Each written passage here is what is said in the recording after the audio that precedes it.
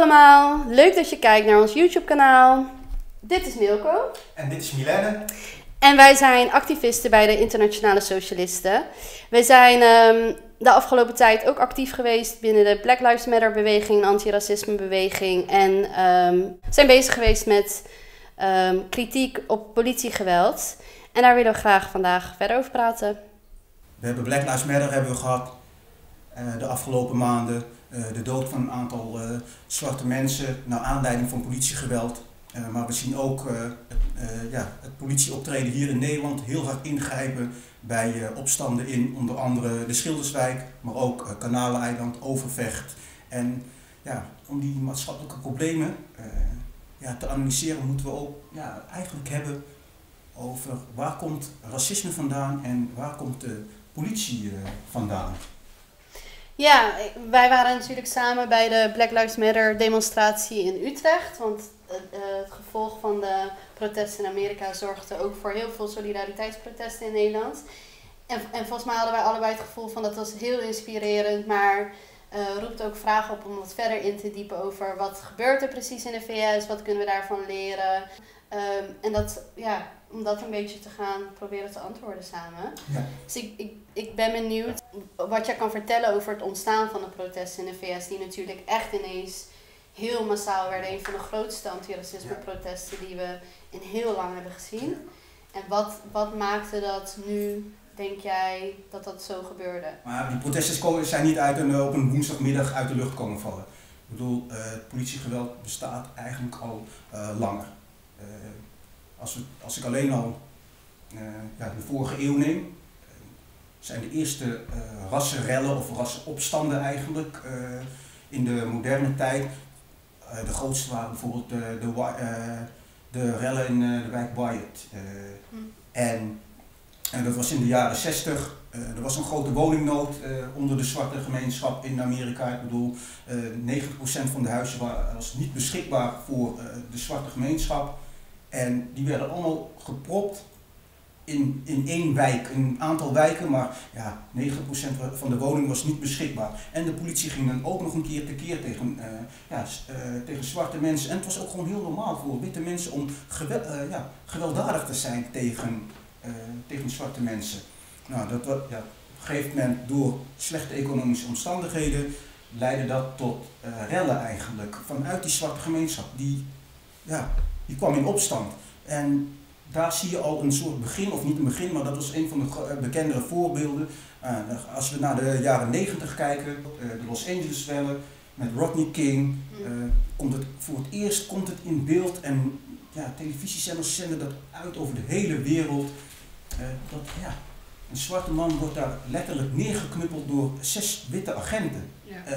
die eigenlijk weerloos op de grond ligt en ze blijven maar doorknuppelen. En ook daar was er weer een slechte, uh, slechte economie, uh, waar vooral uh, gemeenschappen van kleur last van hadden. En die komen daar dus weer in opstand tegen. Ja. Nou, hetzelfde geldt ook als we naar, deze, naar de, eeuw van, naar, de 21ste eeuw gaan, zie je weer hetzelfde. slechte economische omstandigheden in combinatie met racistisch politiegeweld. En dan heb ik het over Ferguson, Michael Brown, die daar ja, wordt neergeschoten, maar ook 2020 uh, zie je dus uh, uh, met de dood van, met de moord moet ik eigenlijk zeggen, op Breonna Taylor en George Floyd, zij worden gewoon door de politie in koele bloeden vermoord. Ja, en, en vele anderen daarbij. En vele anderen. Het is heel goed beseffen, denk ik, die moorden die we heel duidelijk uh, op beeld zien. Dat is natuurlijk het topje van de ijsberg van de intimidatie die de politie decennia en decennia lang in die wijken doet. Ja. Ja, ik denk dus ook, um, als we naar dat soort problemen kijken in de maatschappij, dan moeten we ons ook gaan afvragen, en dat is ook waar ik het eigenlijk met jou over wil hebben. Uh, waar komt racisme vandaan? Waar komt de politie uh, vandaan? Want ik denk dat er eh, dat veel mensen daar geen begrip uh, van hebben. Uh, racisme is iets van een slecht karakter, daar hebben veel mensen het idee. En hoe de politie reageert, ja, dat is gewoon a few bad apples, noem ik maar. Mm. Dat ligt aan de karakter van de betreffende agent. En ja, als we die maar weghalen, dan komt het vanzelf wel goed, yeah. is de gedachte bij veel mensen. Ik bedoel, yeah. Hier in Nederland kennen we, de politie is je beste vriend. Yeah. Nou, ik wil daar wel duidelijk over maken dat ja, ik denk daar anders over. Ja. Waar komt racisme vandaan? Ik denk dat racisme heeft niet altijd bestaan. Vroeger had je wel xenofobie, maar dat is wat anders dan racisme. xenofobie kan zijn van dat je iemand, een, vreemdeling, ja, dat je daar wantrouwen tegenover staat. Maar als je die vreemdeling op een gegeven moment leert kennen, dan kan die band veranderen. Dat is bij racisme is dat niet zo.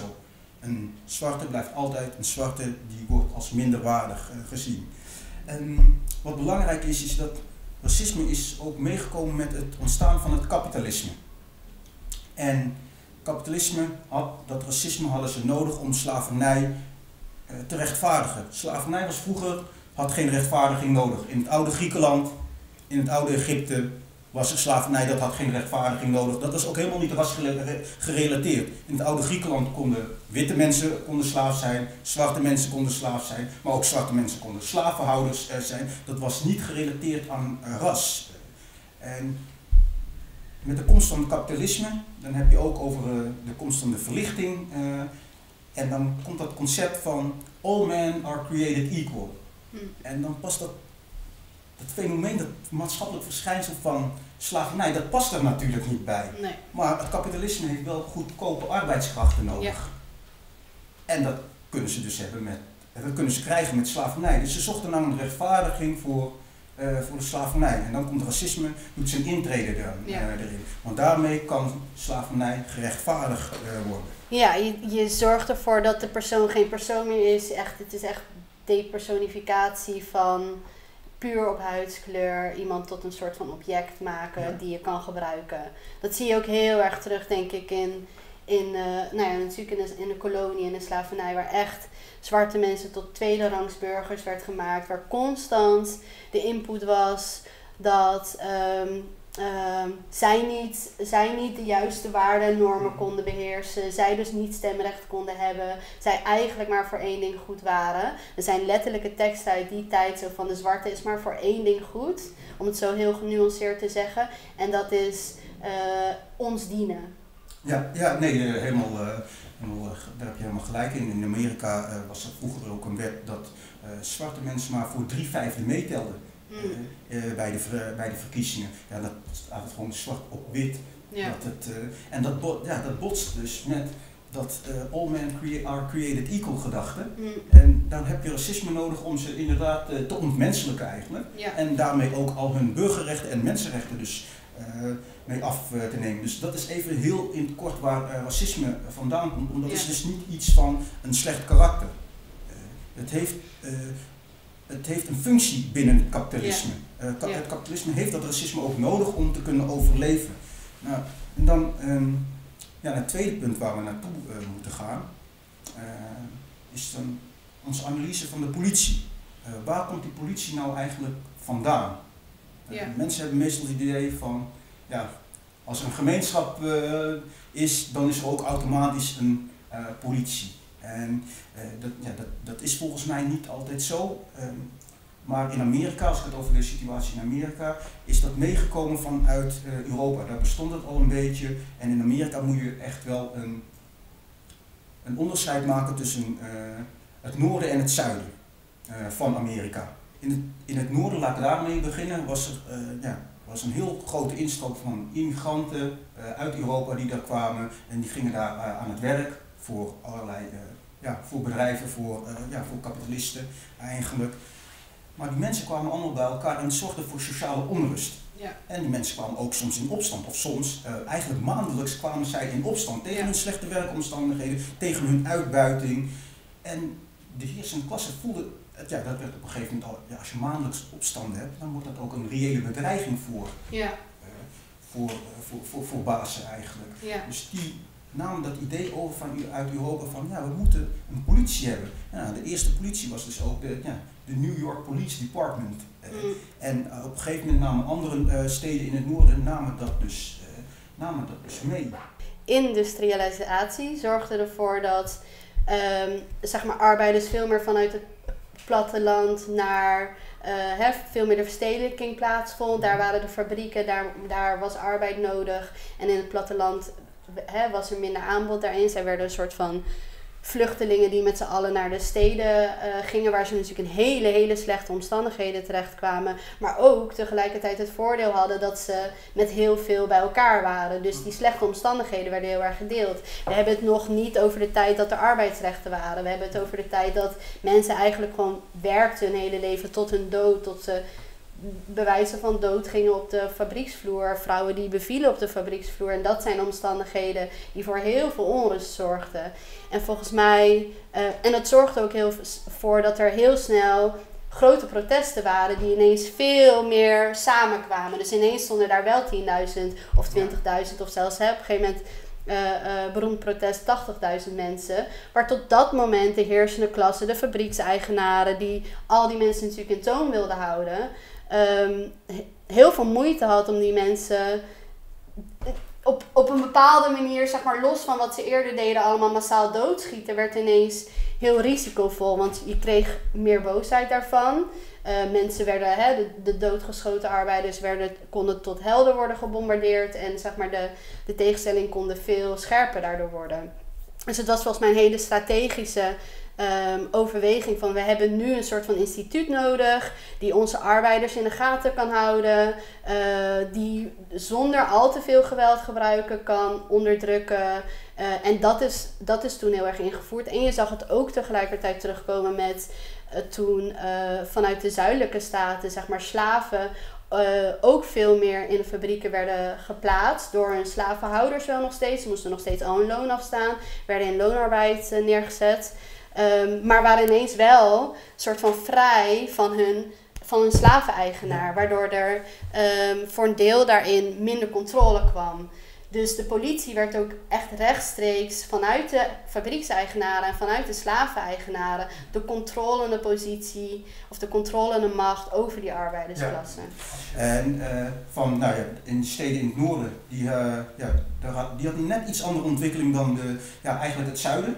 Uh, politie in het zuiden is ontstaan, inderdaad, zoals jij al aangaf, van, uh, uit, uh, de, vanuit de plantages, vanuit de ja, tot slaafgemaakte mensen die uh, gecontroleerd moeten worden. Want ik bedoel, de tot slaafgemaakte die probeerden, die grepen ieder moment aan om te vluchten natuurlijk. Ja. dus dan had je dus ook ja, die slaafeigenaren, die plantagehouders, ja, die konden dat natuurlijk niet hebben, want hun arbeidskracht rent weg, letterlijk. Mm. En die wilden ze dus terughalen en daar zetten ze dus slave patrols voor in, uh, richten ze daarop. Die vingen letterlijk tot slaafgemaakte, vingen ze en brachten terug naar hun eigen naam. Ja. Uh, dus. En ja, naast dat terughalen of, van tot slaafgemaakte, controleerden ze ook wat jij zei. op een gegeven moment gingen tot slaafgemaakte gingen ook in de fabrieken werken in het zuiden. Ja. Want dat was er weer een extra inkomstenbron voor de slavenmeesters en de slaveneigenaren. Uh, want, uh, ja, die daar was het werk ja, natuurlijk. Ja, daar was het werk. Die tot slaafgemaakten die moesten eigenlijk volledig hun loon ook weer afstaan ja. aan, hun, ja. aan hun slavenmeesters. Dus dat was ook weer een bron van inkomsten. Maar ja, die slaven lopen dan wel van huis uit lopen ze wel vrij naar de fabriek toe. En ja. dat moet gecontroleerd worden. Dus ook dat was wel een rol voor de politie, waarin Precies. je ziet dat die politie in dienst is van, uh, van, eigenlijk van die basis, van die slaveneigenaren ja. eigenlijk. Uh. Van de onderdrukkende en heersende klasse op dat moment. Ja. Zeg maar, dat is het ontstaan van de rol van de politie. En de manier waarop ze dat deden. Um, en want de slaven bevonden zich natuurlijk ineens ook onder vrije, nou ja, vrije arbeiders. Hè, voor het voor uh, in hoeverre je vrij bent als je jezelf natuurlijk helemaal doodwerkt in, in mm -hmm. kamertjes vol met ziektes en zonder arbeidsrechten. Maar um, zij kregen natuurlijk te maken met boeken, met cultuur, met uh, politiek, met protesten. En daarvan moesten zij natuurlijk tegengehouden worden. En daar vond ook heel erg een rol van intimidatie plaats voor de politie. Dus zij vielen ze lastig, zij ontdeden zich van spullen. Uh, slaven mochten zich alleen maar voortbewegen met uh, bepaald pasjesysteem van hun slavenhouders. En die werd weer beheerd door de politie. Dus die, zeg maar, die linken, die waren er uh, heel duidelijk van, van oorsprong af aan. Zeg maar dat de politie nooit, het nooit zeg maar, de rol heeft gehad van oorsprong om veiligheid te creëren, om uh, mensen te beschermen, omdat er nou criminaliteit was. Nee, puur om arbeiders te onderdrukken, die te zorgen dat ze naar de fabrieken bleven gaan en uh, daarin ook niet te veel vrijheden hadden. En daarbij ook niet natuurlijk handel belemmerden. Want je ziet, hè, misschien was er op een gegeven moment sprake van um, prostitutie of, of dat soort dingen. En dat zeg maar, dat was niet crimineel, maar dat werd gecriminaliseerd. Alles wat arbeiders deden of wat buiten het belang van de heersende klasse en van de fabriekseigenaren lag, werd gecriminaliseerd. Dus op straat hangen of eigen handeltjes oprichten op straat, waar de, hè, de echte handel en de echte eigenaren en de, en de grootverdieners last van hadden, dat moest allemaal gecriminaliseerd worden en dat moest heel erg onder de duim worden gehouden. En dat was de rol van de politie. En natuurlijk het neerslaan uh, van uh, um, al die protesten en stakingen die, uh, die massaal waren. Ja, inderdaad. dus naast dat de zwarte gemeenschap of de tot slaafgemaakte zwarte ja. onderdrukt en ja, gebroken moesten worden, was er dus ook gewoon de onderdrukking en het opbreken van werkende mensen die daar kwamen, gewoon witte Europeanen, die daar kwamen en ook onderdrukt werden. Daar werd de politie dus ook op ingezet. En ik denk dat je een heel goed punt maakt van het criminaliseren van heel veel activiteiten die voorheen ja, niet crimineel waren, zoals uh, in het openbaar gokken of openbaar dronkenschap. Maar het voegt niets toe voor de heersende klasse. Ik denk dat het wel heel belangrijk is dat je dat hebt aan, uh, aangehouden. En het onder de duim houden van de arbeiders, dat ze daar niet vrije keuze hebben of hè, niet zeg maar, op een bepaalde manier die ontspanning moeten ervaren, maar puur zeg maar, hun leven moet in dienst staan voor, uh, voor het werk. Ja. Ja, dat... en, en daarin zijn ze enkel een product en zo, zo worden ze behandeld.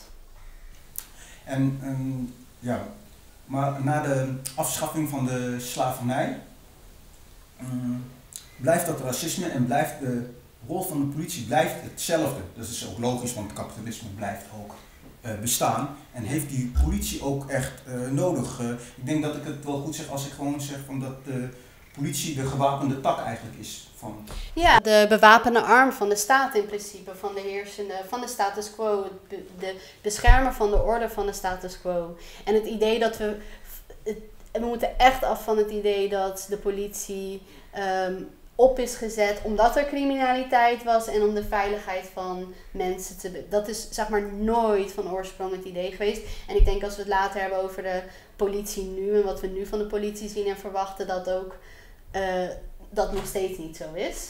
Uh, en dat die rollen heel, en zeg maar nu al, wat, waar hebben we het over honderden jaren uh, zo, zo zijn gebleven. Ja. En echt, en dan hebben we het over institutioneel racisme natuurlijk. Want dan heb je een minderwaardige positie gecreëerd voor nou ja, ten eerste de arme arbeidersklasse, maar ook zeker de grote groep uh, zwarte of mensen van kleur die, daar, die zich daarin bevinden.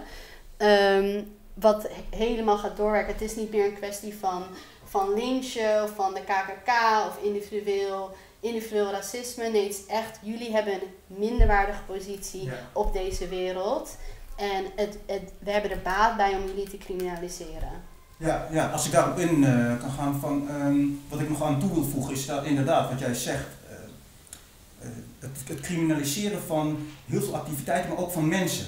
Uh, van als, ik, uh, als ik het terug mag halen naar uh, de zwarte gemeenschap, naar zwarte mensen. Na de slavernij was er wel op papier gelijkheid, maar de zwarte man werd wel gecriminaliseerd. een zwarte man stond gelijk aan als een crimineel zijn. En dan werd het, ja, die mythe werd dan ook opgebouwd en in stand gehouden van nou, als je zwart bent, dan ben je ook uh, crimineel. Dat is ook hoe de politie opereert. Uh, dat zie je ook nu, nu nog steeds terug met uh, etnisch profileren. Maar als ik terug ga naar de situatie in Amerika, dan zie je ook dat, dat de zwarte man, of eigenlijk alle zwarte, worden gecriminaliseerd. En dat zie je terug ook in het gevangenissysteem. Um, voor hele kleine vergrijpen waar een wit persoon ja, een lichte straf voor krijgt, wordt bij een, uh, ja, bij een zwart persoon, wordt, die krijgt echt een super strenge straf krijgt hij daarvoor. Ja. Uh,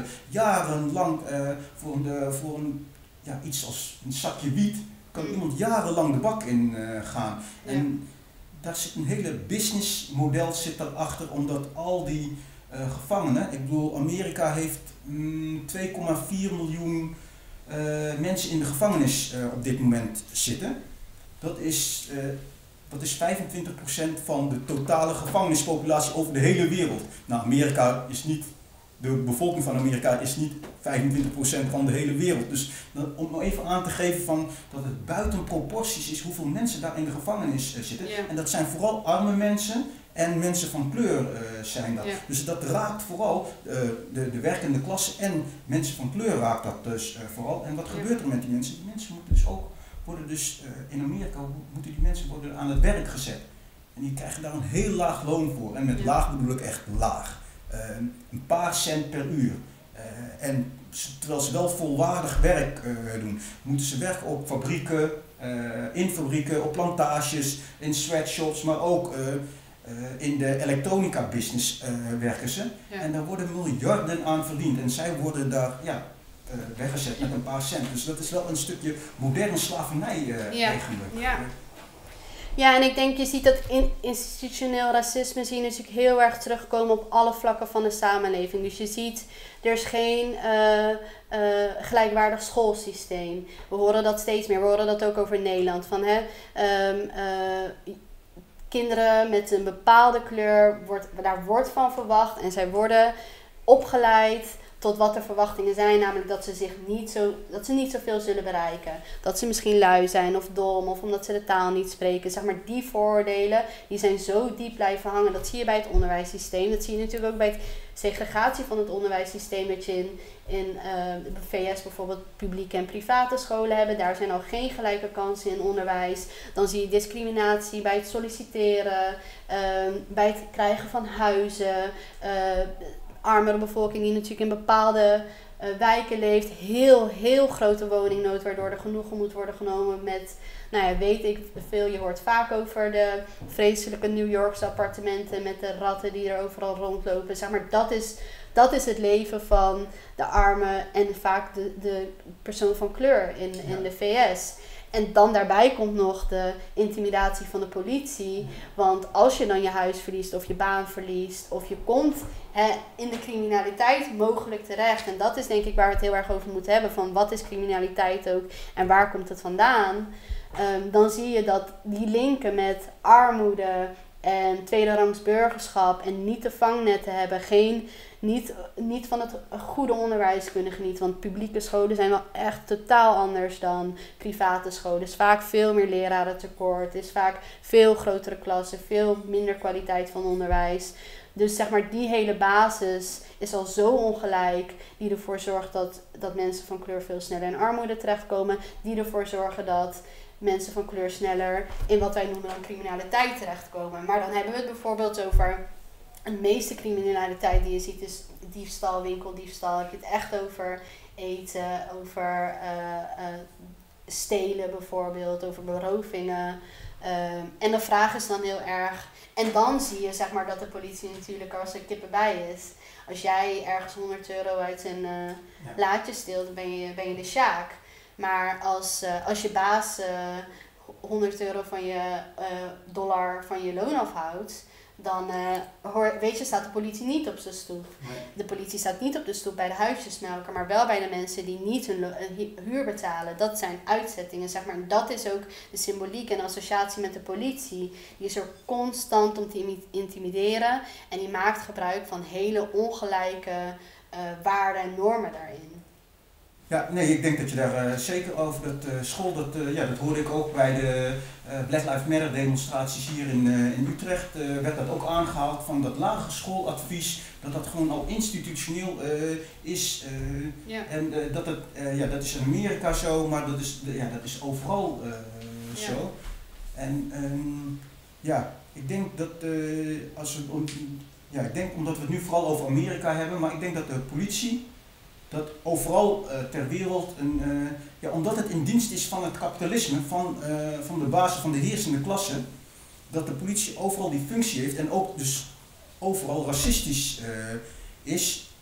En dat zie je bij de politie in Brazilië, als zij de Native Americans, de inheemse bevolking, hoe ze de inheemse bevolking behandelt, maar ook uh, de politie in Indonesië, als ik zie hoe ze uh, Molukkers en Papua's uh, behandelen, die worden weggezet als ja, inferieur en omdat ze een donkere huidskleur hebben, maar ook hier in Europa.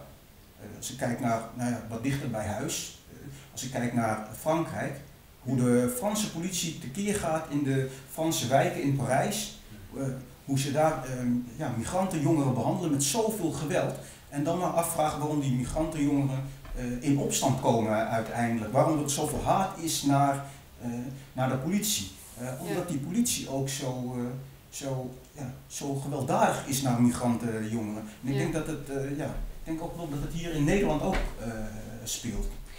Ja, zeker. En ik denk ook dat die publieke opinie ook heel erg door de politie wordt, wordt bepaald. Um, dat zien we ook nu heel recent in Nederland uh, met de mediacampagnes die de politie voert, waarvan we heel duidelijk kunnen aantonen dat veel wat ze daar zeggen gelogen is.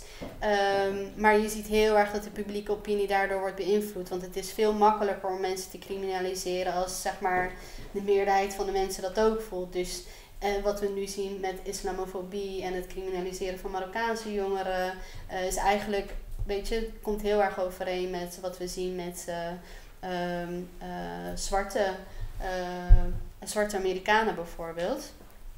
ik, wat ik nog heel interessant vind, is misschien een beetje een zijweggetje, maar um, waar je dan ook heel erg dat institutioneel racisme in terug ziet komen, is, um, er was heel recent is er een onderzoek in de VS gedaan over dat de levensverwachting van de, de gemiddelde witte Amerikaan uh, afneemt. Ja. Um, en in het onderzoek werd door de onderzoekers heel duidelijk aangehaald van we zien een soort van een, zo enorme stress op, uh, op ook op witte Amerikanen natuurlijk en op de uh, lagere klasse van witte Amerikanen die zorgt voor enorme problematieken uh, die zorgt voor bijvoorbeeld alcoholisme, maar GGZ-problematiek, die zorgt voor zelfmoord.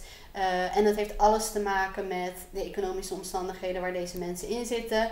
En het onderzoek gaat daarin, en dat, en dat wordt door de hele, zeg maar, wordt echt door de publieke opinie gesteund van behandeling is nodig, we moeten deze mensen bijstaan. Tegelijkertijd moeten niet vergeten natuurlijk um, dat deze mensen ook net zo hard te maken krijgen met dat, er, uh, dat het zorgsysteem onbetaalbaar is, dat ze alles zelf moeten betalen, dat um, geestelijke gezondheidszorg onbetaalbaar is. Ik bedoel, daar lopen zij nog steeds tegenaan. Maar als je het dan hebt, volgens mij was het uh, Alexandria Ocasio-Cortez die heel recent zijn van we moeten.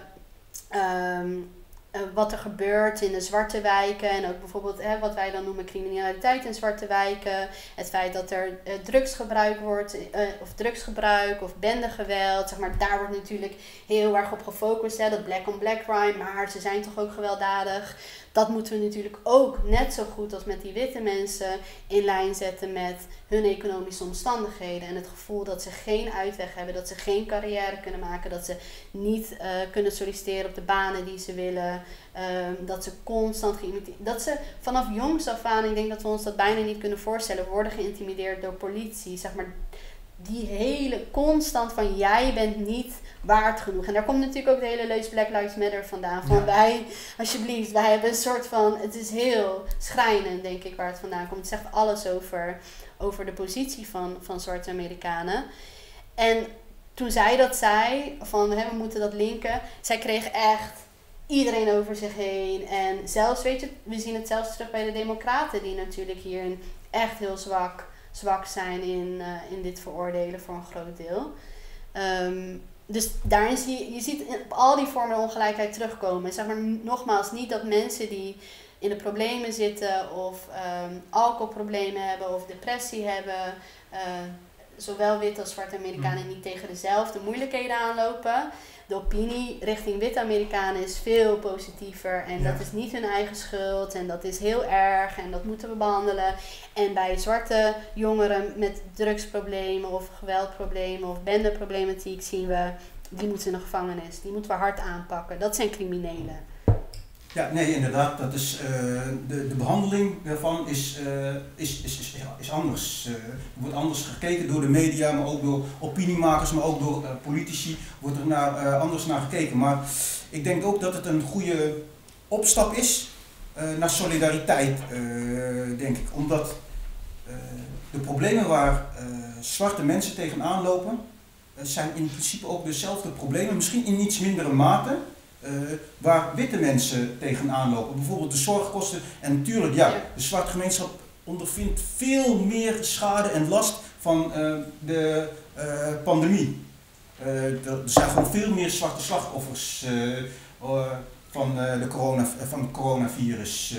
maar ook witte mensen hebben geen toegang tot de zorg. Ook zij worden ontslagen. En bij de zwarte gemeenschap is, zijn die ontslagen veel groter. Want zij zijn vooral in allerlei, uh, uh, allerlei uh, tijdelijke banen zijn ze werkzaam die, ja, die, waar veel makkelijker ontslagen vallen. Maar ook in banen die veel kwetsbaarder zijn. Waar veel meer menselijk contact voor nodig is. Er zijn veel meer mensen van kleur zijn werkzaam in dat soort bedrijfstakken eigenlijk. Dus dat maakt het wel, maakt het wel kwetsbaar. Uh, dat maakt ze extra kwetsbaar voor zo'n economische crisis, maar ook een, uh, een viruscrisis dus eigenlijk.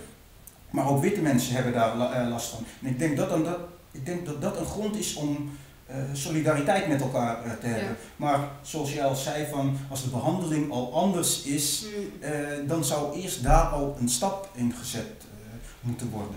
Ja, ja, volgens mij klopt het heel erg. En ik denk dat de pandemie ook echt heel erg heeft gezorgd voor een verscherping van, of een hele duidelijke verscherping van ehm, de verschillen die er al zijn. Ik, ik, ik hoorde zwarte activisten zeggen van de pandemie zorgde er echt voor. We wisten al dat we in de steek gelaten werden, maar we worden echt, we worden echt aan onze dood overgelaten. Zeg maar, onze, oh, we worden niet gecompenseerd voor als we onze baan verliezen. We kunnen het niet aan om niet naar ons werk te gaan, ook al weten we dat het onveilig is, ook al is het inderdaad vaker ongeschoold fabriekswerk. We kunnen het niet laten, want we moeten onze uh, huur betalen, uh, geen, enkel vak, geen enkel vangnet en geen enkel, zeker natuurlijk vanuit de Trump administration, geen, enkel, uh, geen enkele toenadering. Terwijl ondertussen al lang bleek vanuit de percentages dat de zwarte gemeenschap veel harder werd geraakt door corona en coronadoden en coronazieken.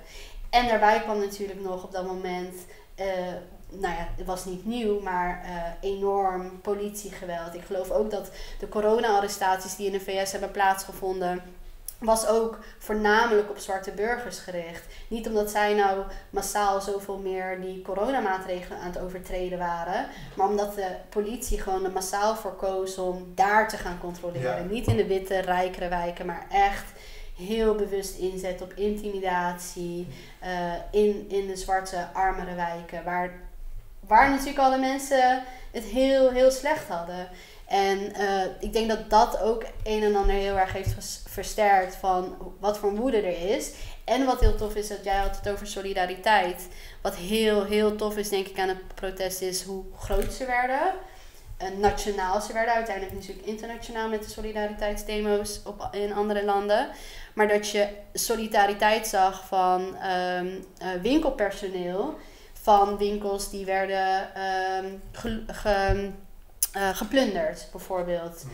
Omdat eigenlijk iedereen op dat moment al die pijn voelde en heel erg goed begreep waar dat vandaan kwam. Hetzelfde zag je bij het ziekenhuispersoneel, dat natuurlijk solidair was, heel duidelijk met de Black Lives Matter beweging. Want ziekenhuispersoneel en, en de hele um, uh, omgeving, denk ik, van de arbeidersklasse en armere mensen die zo geraakt werden. Ik bedoel, verpleging in de VS moesten in vuilniszakken naar, naar de ziekenhuizen gaan om zich te beschermen tegen het virus. Ondertussen loopt de politie op straat bewapend, hand en tand, mooiste, moderne um, wapens om ondertussen maar de mensen in het gareel te houden. Terwijl daar ging het helemaal niet om. Het gaat om dat we allemaal gezond die coronavirus doorkomen. En daar werd voor gekozen om dat niet te doen. Er is gewoon bewust voor, voor gekozen van er vallen slachtoffers, voornamelijk onder de zwarte Amerikanen en de armere mensen. En dat is prima.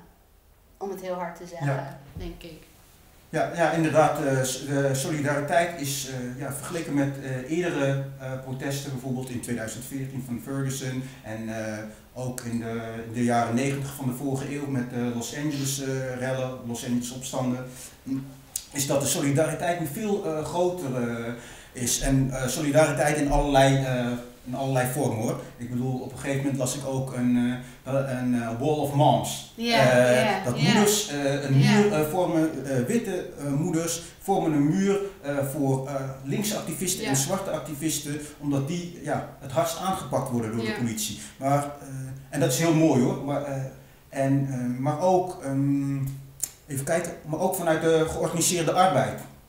op een gegeven moment had je dus ook ja, buschauffeurs die zeiden van, nou, wij gaan de politie niet helpen om arrestanten naar het politiebureau daarvoor zijn wij niet. Mm. Wij zijn buschauffeurs, we zijn van het openbaar vervoer en we willen mensen helpen, maar wij gaan niet mensen die tegen uh, racisme strijden, uh, tegen politiegeweld strijden, uh, dat wij die mensen die opgepakt zijn, dat we dan ja, daar een, een steentje aan bijdragen. En daar kozen ze dus gewoon niet voor. En dat zie je dat die solidariteit ook daar naartoe. en dat was niet alleen de buschauffeurs, maar ook de vakbond van de buschauffeurs, die stond daar ook achter. Ja. Uh, ze van, ja nee, dat willen wij niet. Uh, en uh, op een gegeven moment, ja, ook de, het ziekenhuispersoneel, want ook het ziekenhuispersoneel, het is ook heel tekenend van, ze gaan op straat met hun uniform van het ziekenhuis. Dus ze gaan niet in hun burgerkleding naar buiten. Ja. Nee, ze gaan daar echt als ziekenhuispersoneel staan ze in solidariteit met Black Lives Matter. En hetzelfde geldt ook voor, nou op een gegeven moment had je de havenarbeiders, die ook eh, de straat op gingen. Het begon eerst met een uurtje. Uh, legden ze het werk stil, maar uiteindelijk hebben ze een hele dag hebben ze gewoon gestaakt eigenlijk. Uit solidariteit met Black Lives Matter. Dus je ziet dat die solidariteit wel groeit, omdat het toch wel iets is van nou, als één van ons geraakt wordt, worden we, worden we allemaal geraakt. Dit doet ons allemaal wat. Precies, het maakt denk ik die demonstraties of die protesten. En zeker um, omdat er natuurlijk veel kritiek was over dat het uh, voor een gedeelte, uh, gedeelte gewelddadig werd. Maakt het natuurlijk heel legitiem. Um, omdat het veel minder moeilijk is om die bepaalde groep zwarte mensen die nu weer aan het protesteren is en, en altijd ontevreden is en bla bla bla. Die kan je veel minder makkelijk zo op die manier wegzetten als er zoveel solidariteit is van zoveel andere mensen. En ik denk wat ook wat ik heel tof vond, er was op een gegeven moment een leus vanuit verpleging, verplegend personeel die zeiden, uh, en echt rechtstreeks zich, zich richten tot politiegeweld van wij krijgen elke dag te maken met verwarde personen, met dronken mensen, met mensen die niet willen meewerken. We hebben nog nooit wapens gebruikt om, mhm. om ze uiteindelijk te helpen. Omdat ons doel is om ze te helpen. En dat wordt natuurlijk heel erg duidelijk. Het doel van de politie uh, is niet om een grotendeel van de mensen te helpen of veilig te hebben. Dus puur om de orde te bewaken, zodat ehm, de status quo niet in gevaar komt. Daar heeft het mee te maken, puur met onderdrukking. Ja, inderdaad. En uh, wat ik mooi vind is dat het nu ook zichtbaar, heel erg zichtbaar is. Uh, ik bedoel, dat het nu zo groot is geworden is ook vanwege de zichtbaarheid van uh, de moord op George Floyd. Dat is gewoon zichtbaar in beeld gebracht. Je ziet hem echt iets langer dan 8 seconden uh, zie je dat hij stikt eigenlijk, omdat er uh, geknield wordt op zijn hoofd of op zijn nek eigenlijk. En, minuten zelf. Ja, ja minuten ja. wordt er geknield en ja, iedereen heeft hem heel langzaam dood zien gaan. Ja. En het is ook echt in beeld, dus ik denk dat dat heel erg bij heeft gedragen. Waar ik naartoe wil is, is dat het dus ook, omdat er zoveel witte mensen in solidariteit staan en dus ook meedoen met die demonstraties, dat ze aan de lijve ondervoelen hoe de politie reageert terwijl zij hun mening willen uiten. En ze zien dus van de politie, is helemaal niet onze beste vriend. Is er niet, om op zijn Amerikaans te zeggen, to protect and serve. Ja. Uh, nee, ze, ze, gaan meteen met traangas uh, gaan, gaan ze tekeer. Er wordt meteen traangas gegoten, er worden rubberen kogels worden gebruikt en allerlei de nieuwste technische snufjes heeft de politie. En die wordt, dat wordt ook meteen ingezet. En daardoor uh, krijgen nu bredere lagen van de bevolking uh, ondervinden nu dus het politiegeweld wat de zwarte gemeenschap eigenlijk al decennia lang uh, ondervindt. En dat, ehm, dat maakt de solidariteit alleen maar alsmaar nog, alsmaar nog groter. Ja. ja, en het werkt denk ik ook heel cumulatief. Je merkt dat zeg maar, deze protesten zijn natuurlijk, hè, we zagen Ferguson, we zagen dat een aantal keer terugkomen. Het feit dat nu George Floyd zegt I can breathe, precies hetzelfde als Eric Gardner volgens mij zei. Uh, terwijl Eric Gardner, en, en ik, ik bedoel, ik weet nog dat filmpje, volgens mij is echt een politieagent. Hij weet dat hij gefilmd wordt. Hij zwaait er zelfs naar, zeg maar zo vrij en straffeloos voelen zij zich al. Het feit dat dit precies op diezelfde manier kon gebeuren. En ondertussen hebben we ook gezien dat um, in al die jaren, en ik denk dat dat ook heel erg meewerkt aan het bewustzijn, los van dat mensen natuurlijk sowieso heel erg bewustzijn creëren als ze de straat op gaan. Dat is een van de hele belangrijke doelen. Als je niet of ze worden wel gehoord, maar ze worden genegeerd in hun, in hun eisen en in hun rechten, dan ga je natuurlijk op zoek naar alternatieven hoe je dat wel kan uiten en hoe je wel uh, uit die zone kan komen die uh, minder comfortabel is voor de heersende klasse. Gewoon omdat je tegen die grenzen wil aanduwen natuurlijk. Um, waar misschien eerder nog hoop was op heb, bijvoorbeeld president Obama.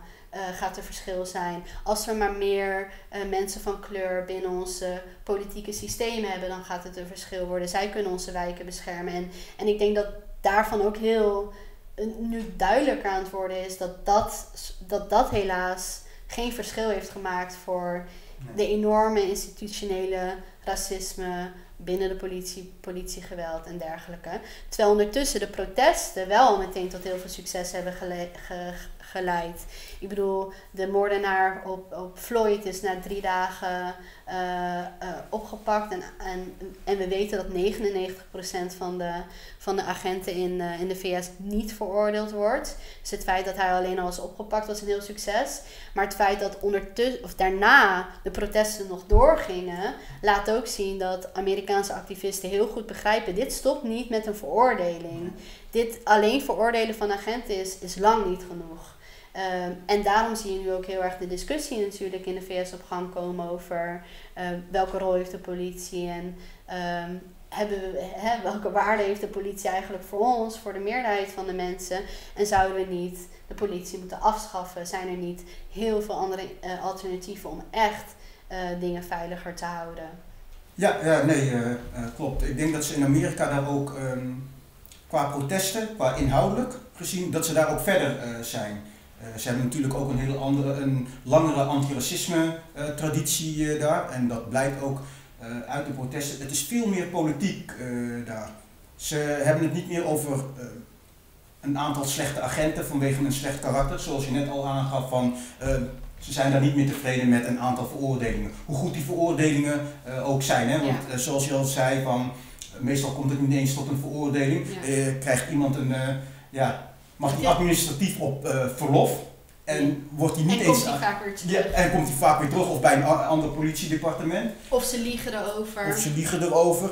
Dus, um, en nu uh, wordt, wordt er geen genoegen meer genomen met van, nou, al, kijk, het is nog niet tot een veroordeling gekomen, maar als het al tot een veroordeling komt, nemen mensen daar al niet meer genoegen mee. Uh, wat je zei van, de rol van de politie wordt daar al in twijfel uh, genomen. Ja. Dus gaan afvragen van waarom is die politie uh, er al? Dat, dat zie je hier nog niet in, uh, in Nederland. Mm -hmm. die vraag wordt nog niet echt gesteld. Of eigenlijk helemaal niet. en in Amerika wordt die vraag dus wel gesteld van ja, wat hebben we nou eigenlijk aan, aan de politie? Als die politie zo tekeer gaat tegen ons, beginnen mensen zich af te vragen van welke rol heeft de politie? Uh, hoeveel geld gaat er überhaupt naar de politie uh, toe? En is dat het überhaupt wel waard om uh, dat er zoveel geld gaat naar, naar, naar, naar, de politie? Terwijl ja, politie er eigenlijk niet voor ons is. En wat ik ook nog wil aangeven, even nog heel kort terug op dat racisme bij de politie. Ehm, mensen vergissen zich in hoe racistisch die politie is als er is onderzoek geweest dat een zwarte man heeft bijna drie keer een grotere kans om te overlijden aan politiegeweld dan een witte man. Ja. een, een, ongewapende witte man en een ongewapende zwarte man. Ja. Dat, dat, die cijfers zijn echt... 2,4. Ja, het is echt veel groter. Ja. Uh, uh, die kans is gewoon veel groter. Zo diep zit dat racisme zit er dus in. En, uh, en het is dus geen kwestie meer van een aantal uh, slechte politieagenten, want anders krijg je niet dat soort, sta uh, dat nee. soort statistieken. Nee. En ja, het is heel goed dat ze in Amerika daar wel al verder in zijn. En ze dus afvragen van, ja, hoe noem je dat? Die van de police eigenlijk. Ja. van, en de, die van de politie, ja, wat, wat dat dan precies inhoudt, is, nou ja, je zei het zelf al, van afschaffen. Ja, de discussie gaat heel erg over, um, uh, als we het hebben over criminaliteit, waarom wordt er dan nooit gepraat over wat de wortel van criminaliteit is? En in hoeverre kan je, moet je het bij de wortel aanpakken? Er wordt natuurlijk nooit voor gekozen, er wordt altijd gekozen voor repressie. Terwijl Uh, je kan armoede aanpakken. Je kan ervoor zorgen dat er huisvesting is voor iedereen. Gratis onderwijs voor iedereen. Gratis medische zorg voor iedereen. Um, en dat, ik denk dat je, wat we echt moeten beseffen is in hoe groot de afbraak is geweest van sociale vangnetten in de VS de afgelopen decennia. En zeker in de armere wijken. Wat ik al zei, zeg maar, publieke ziekenhuizen als die er al waren, zijn echt voor een heel groot deel wegbezuinigd. Uh, publieke scholen doen het, hebben gewoon echt een slechte, slechte naam. Het, buurthuizen zijn er niet meer. Weet je, als je al die dingen zou aanpakken, als je zorgt voor goede, goede zorg voor mensen die, die in de knel zitten, als je zorgt voor, nou weet ik veel, enige vorm van basisinkomen, van baangarantie of een leefbare soort van bijstand, dan weet je dat je bezig bent met waar we het over hebben met criminaliteit, stelen en uh, um, uh, bijvoorbeeld op een bepaalde manier dingen handelen om zo geld te verdienen, dan ben je het echt aan het aanpakken.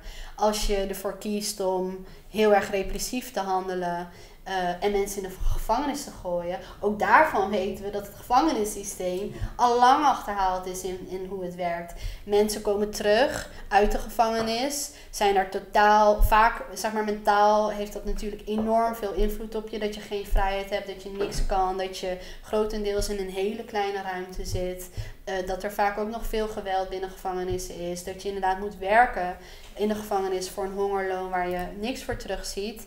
En de mensen die dan weer terugkomen in de maatschappij met een strafblad, hebben natuurlijk nog veel meer moeite om een huis te vinden, om werk te vinden.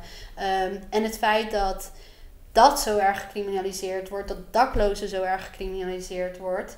Uh, en niet zeg maar huisjesmelkers, uh, niet, uh, niet, niet belastingontwijkende bedrijven. Zeg maar, dat is allemaal niet crimineel. Maar wat deze kleine groep mensen doet, is wel crimineel. Uh, ik denk dat, het, uh, dat je een goed punt aanhaalt over het criminaliseren van bepaalde activiteiten. vooral in Amerika is dat heel, heel erg speelt. Dat, want alles, dat wordt als, als, alles wordt ook geformuleerd als the war on crime, the war on poverty. Ja. Door het zo te formuleren, wordt het automatisch een taak van de politie. Ja. En, want je voert een oorlog tegen armoede. Ja, ja, dan is het dus blijkbaar iets, iets ergs, iets, iets crimineels. Dat een oorlog, ja, dan moet je dus wapens tegenin uh, zetten. Een war on drugs. Uh, ja, dan wordt het dus meteen gecriminaliseerd. En daarmee wordt het een taak voor de politie. En krijgt de politie dus ook heel veel geld. die, die, die, krijgt daar dus ook geld voor. Want ja, er is een war on poverty, een war on drugs, een war on crime, een war on immigrants. En in Amerika loopt het de spuigaten zeg maar ook uh, ook uit. Als, als je zeg maar kijkt, um, daar, daar, daar, gaan zo, daar gaat zoveel geld gaat er naartoe. En als je kijkt naar, er is een onderzoek geweest van, met een tijdsbestek van twee, 1977 tot en aan 2017. de bevolking is daar met, de bevolking van Amerika is daar met 50% gegroeid in, die, in een tijdsbestek van 40 jaar. Maar het politiebudget ja. is gegroeid met 173 procent ja. uh, gegroeid. Dan zie je dat dat helemaal uit de pas, uh, uh, uit de pas loopt. En ehm, als je kijkt naar een stad als, ik weet, volgens mij New York of Chicago is het, dan in 2008 hadden ze een politiebudget van volgens mij 4 biljoen dollar.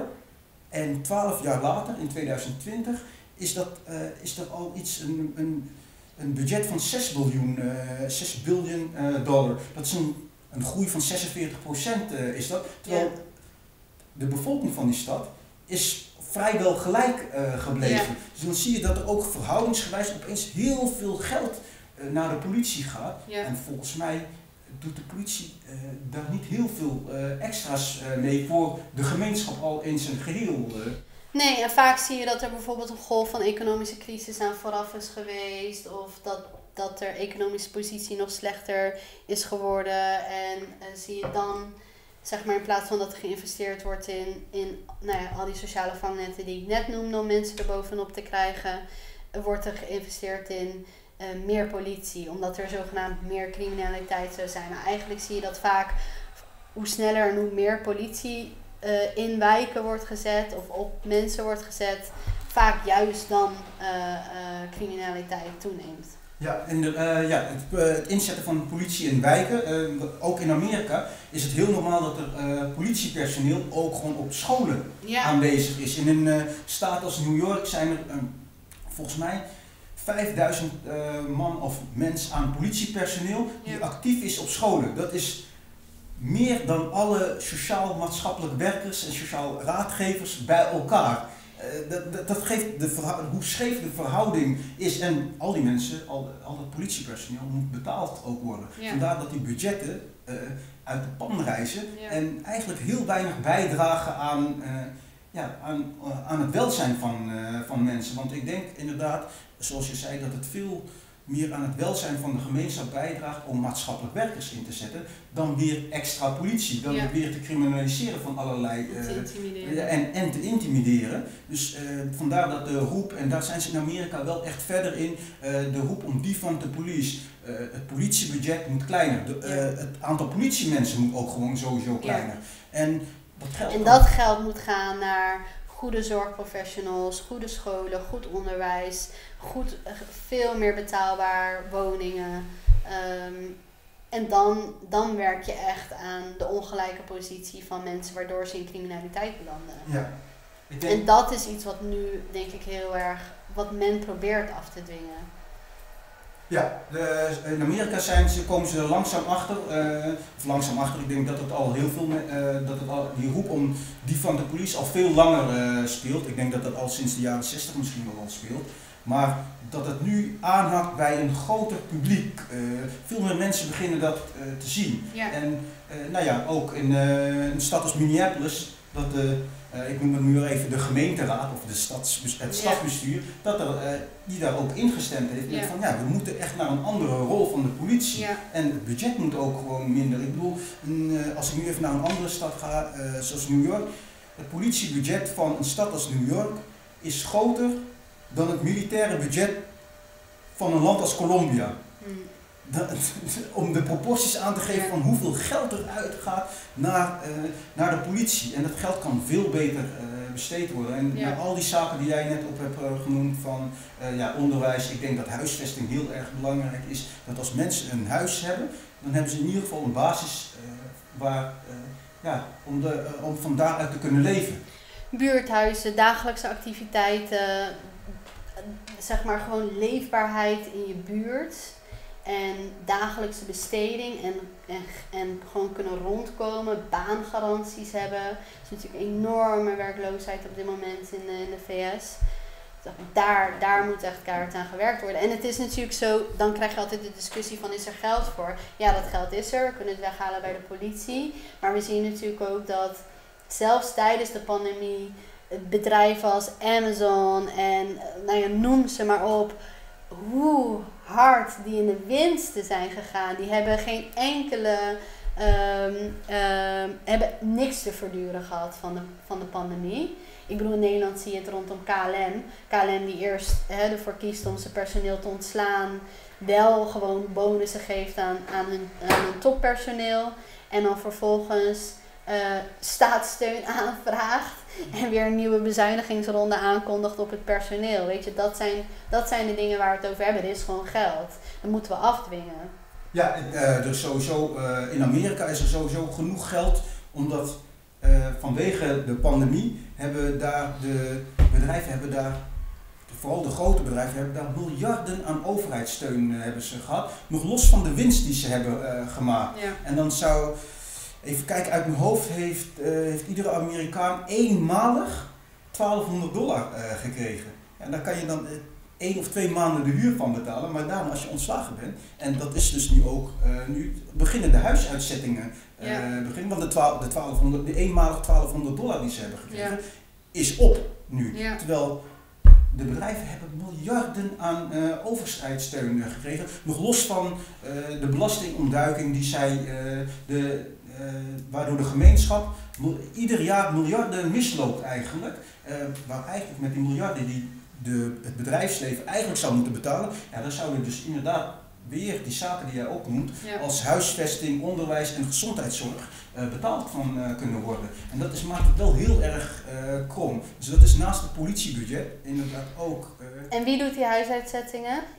Dat is de politie, Politie? De, de politie dat eh, doet. Ook weer overduidelijk, zeg maar, welke kant zij staan op dat moment. Ja, en ze pakken dus niet eh, de huisjesmelkers of de, de huiseigenaren pakken ze dus niet eh, aan die ja, zonder een traantje te laten gewoon gezinnen op straat Ja. zet omdat ze de huur drie maanden niet kunnen Ja, betalen. ja. En dan weet je dat er eigenlijk iets krom zit in de samenleving die we nu, die we nu hebben. Dat het, de winst van een huiseigenaar eh, belangrijker gevonden wordt dan het welzijn van een gezin die op straat komt eh, Ja.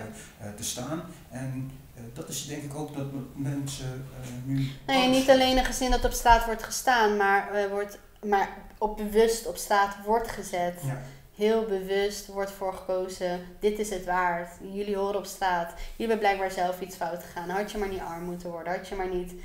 En op zo'n manier dat heel erg criminaliseren en individualiseren natuurlijk. ja, het criminaliseren van armoede. Ja, Eh, als, je arm, als je arm bent, dan moet je wel crimineel Ja. zijn. Het Ja. ligt ook aan jezelf. Ja, eh, en niet aan het, eh, niet aan het systeem. Nee. En dan weer dat, ja, ik kom er nu weer, weer op terug van wat jij zei, van ja, dat, dat criminaliseren geeft meteen een taak aan de politie. ja, Door het, cri- door het, en dan wordt ook, daar, het versterkt ook de, de positie van de politie. Het, Ja. het legitimeert ook het handelen van de politie. En eh, dat heeft die heersende klasse ook nodig, dat de politie heel erg le- legitiem is. Eh, en dat is, zit zo in ons denken eh, verankerd dat we het ook normaal vinden dat de politie allerlei dingen doet die eigenlijk niet normaal zijn. Ja. Dat ze zo veel kunnen ingrijpen in ons leven. En ja. terwijl ze eigenlijk niet, nou ja, zoals we net hebben besproken, dat ze eigenlijk vanuit hun oprichting niet aan onze kant staan. Ze, ze zijn er ten dienste voor de heersende klasse, eh, zijn ze. ja. En dat is nooit veranderd. Dat is niet eh, veranderd. eh. En, en sterker nog, de staat maakt natuurlijk ook heel erg gebruik. Je zag, als je kijkt naar de jaren 60, waar natuurlijk een golf van protesten was. Succesvol ook natuurlijk met, ro- rondom de Vietnamoorlog. wat meer eenheid daarin, mensen op straat. En je ziet meteen zeg maar de, de clapback in de jaren 70 en jaren 80 van neoliberalisme. En individualisme, dat wordt heel, heel erg duidelijk gepropagandeerd. En dus echt in die periode ook gekozen om bijvoorbeeld sitcoms te gaan maken met zwarte eh, welfare vrouwen. Om, om vervolgens zeg maar, de basis te kunnen creëren van je ziet zwarte vrouwen zijn nou eenmaal lui. Eh, dat, werd, eh, dat werd echt in leuke serietjes, werd dat Mm. allemaal naar voren gebracht op de tv om vervolgens keihard die bijstand te kunnen afschaffen en zo zeg maar die grond daarvoor rijp te maken. En weer op zo'n manier mensen te criminaliseren.